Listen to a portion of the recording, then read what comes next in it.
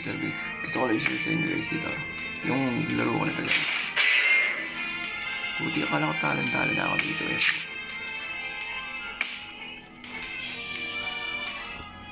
Akala ko talaga talent ako dito, butik.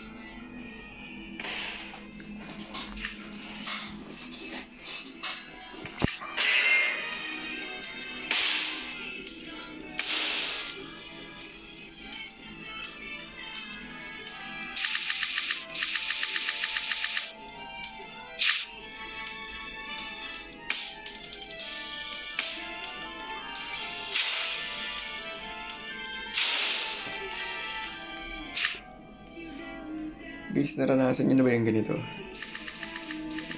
Putik, akala mo malaki na yung chance pang manalo.